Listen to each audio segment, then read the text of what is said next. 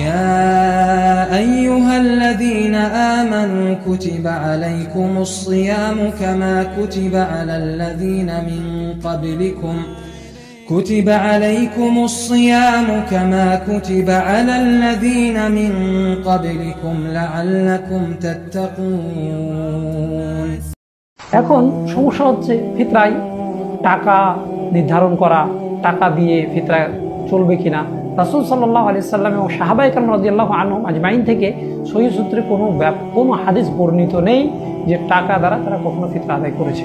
অনেকে বলছেন যে তখন খাবারের মানে প্রয়োজন ছিল, ইত্যাদি ইত্যাদি খাবার সংকট ছিল। খাবার যদি সংকট থাকে, তাহলে তো তখনই টাকা দেওয়াটা বেশি জরুরি। যেহেতু খাবার সংকট, আমার ঘরে খাবার থাকবে না। এটা একটা গেল। দ্বিতীয় নম্বর বিষয় হচ্ছে যে টাকা উমার বিন আব্দুল আজিজ একজন তাবেই তাবেই থেকে প্রমাণিত হয়েছে, তিনি টাকার কথা বলেছেন। অনেকে মেনেছে, অনেকে মানেননি। অনেকে মানেননি। এবং যেহেতু হৃদায়ত স্পষ্ট, সুতরাং আমরা টাকার দিকে যাবই না। কারণ রসুল সাল্লাহ আলী সাল্লাম থেকে কোনোভাবেই টাকা প্রমাণিত এক সা পরিমাণ খাদ্যদ্রব্য রসুলাম থেকে প্রমাণিত হয়েছে ওপর একটা হাদিসে। যেমন আবুদাউদের একটা হাদিস, সালাম আলাইকুম রহমতুল্লাহ আলহামদুলিল্লাহ রবিল আলমিন আলা আশরফুল আমিয়া ইউল মুরসালিন।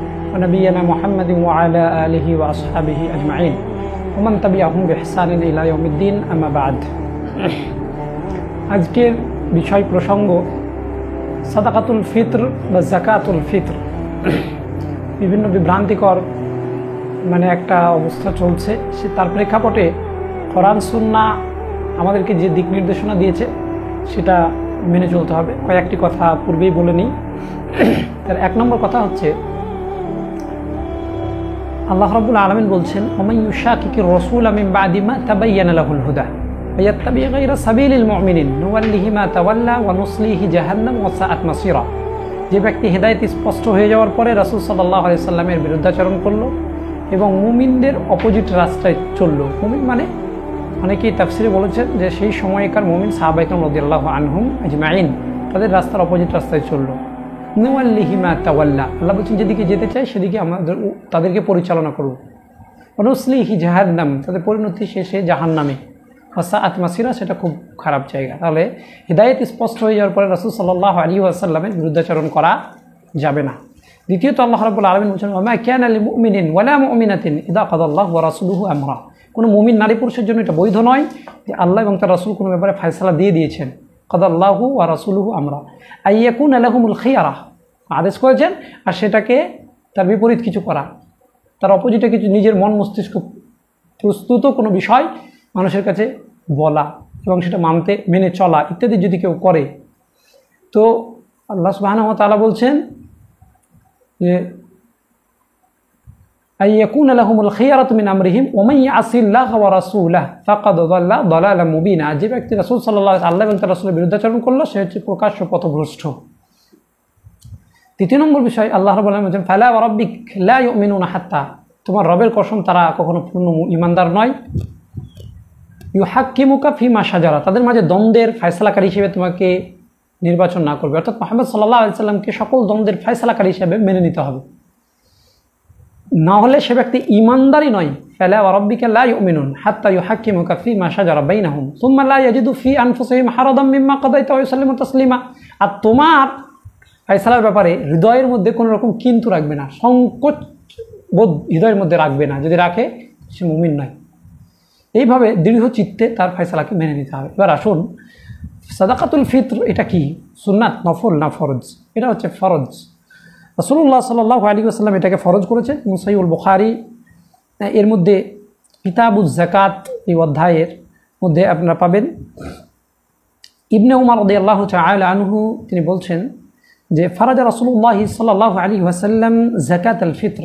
রসুল সাল্লাহ আলি সাল্লাম এই জাকাতুল ফিত্র বা সাদাকাতুল ফিত্র এটা ফরজ করেছেন।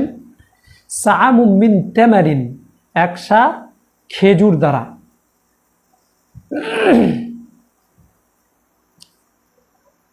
আর কি? আউ সামুমিন সাইরিন একসা জব দ্বারা।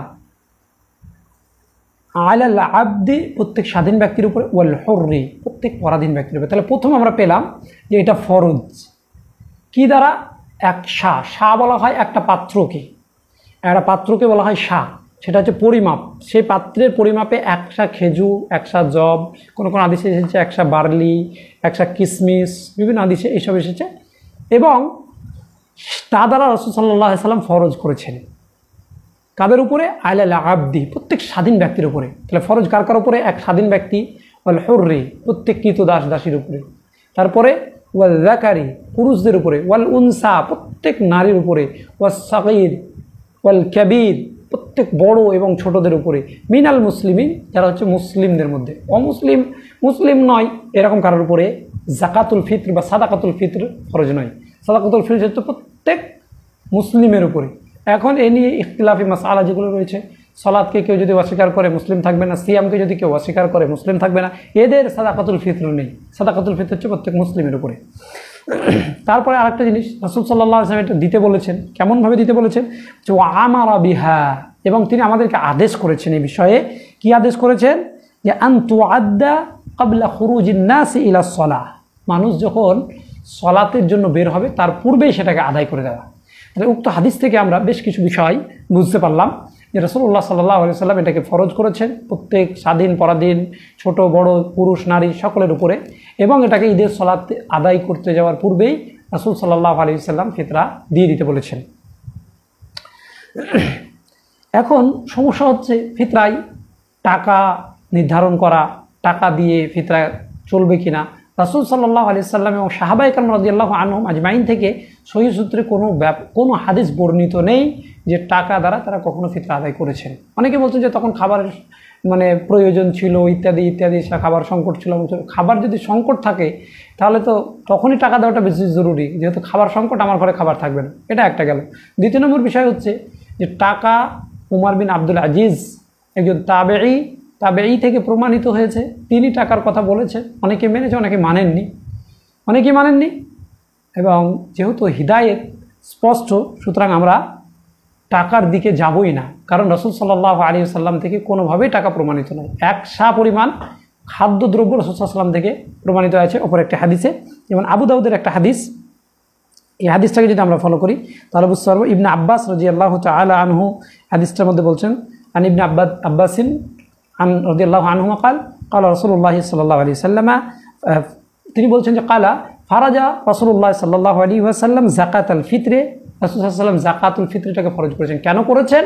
এবার কারণটা বলছেন এখানে। এখানে কারণটা বলছেন তুহরাতুল ইসাইম মিনাল লাগবি ওয়ার রাফাত মিনাল ওয়ার রাফাত কোনো অশ্লীল, মন্দ, কোনো কাজের দ্বারাই সিয়ামের কোনো রকমের ঘাটতি আছে? তো সাইম, অর্থাৎ সিয়াম পালনকারীর ওই ত্রুটি বিচ্যুতিগুলোকে পরিশুদ্ধ করার জন্য। তাহলে আপনি পরিশুদ্ধ করবেন, সিয়াম পরিশুদ্ধ করতে চাইছেন, সেই বস্তু দ্বারা পরিশুদ্ধ হতে হবে যে বস্তু দ্বারা রাসুল সাল্লাহ আলি সাল্লাম পরিশুদ্ধ হতে বলেছেন। এখানেই সমস্যা সমস্ত সমস্যার সমাধান রয়েছে। কিন্তু আমরা সমস্যা তৈরি করতে শিখেছি, সমাধান নয়। তারপর রসুলাম বলছেন ওয়াতুলিল মাসাকিন। আর তোমাদের পরিশুদ্ধের জন্য যেটা জরিপানা করা হয়েছে, যেটা ফিদিয়া হাত তোমাদের কাছ থেকে ফরজ করা হয়েছে, এটা নিয়ে মিসকিনদের ঘরে খাদ্যদ্রব্য পৌঁছে দেওয়া। মিসকিনদের জন্য খাদ্যেরই প্রয়োজন, এটা তো আল্লাহ রবুল আলমিনও বলেছেন। আল্লাহ পবিত্র কোরআনে বলেছেন অনেক জায়গায় যে তো আমন তো আমন আলাল মিসকিন শব্দ আল্লাহ রব ব্যবহার করেছেন। যেমন, বিভিন্ন জায়গাতে আল্লাহ রবুল আলমিন ব্যবহার করেছেন। তো সুতরাং আমাদের উপরে রসদ সাল্লাহ সাল্লাম এক নিজেদের সিয়াম পরিশুদ্ধকরণের জন্য খাদ্যদ্রব্য দিতে বলেছে এবং মিসকিনদের ঘরে খাবার পৌঁছে দেওয়ার জন্য রসদ বলেছে মান আদাহা কখন আদায় করবেন? মান আদাহা কাবলা নাস মান আদাহা কবলা সলা সরি মান আদাহা কাবলা সলাতে ফাহিয়া জাকাতুম মাকবুলাতুম রসদ বলছেন যে কেউ যদি এটাকে ঈদের সলাতের পূর্বে আদায় করে, তাহলে সেটা তার জাকাতুল ফিত্র হিসেবে আদায় হবে। আর ওমান আদাহা বা আদা সলা যদি কেউ সালাতের পরে আদায় করে ফাইহিয়া সাদাকাতুমিন সাদাকাত তাহলে সাধারণ দান হবে। এবার আপনার এখানে প্রশ্ন, আপনি জমা রেখে সারা বছর ধরে বিলি করছেন, এটা কি ঈদের সালাতের আগে মিসকিনদের ঘরে পৌঁছানো হলো? যদি না হয়, তাহলে এটা সাধারণ দান হয়ে যাচ্ছে।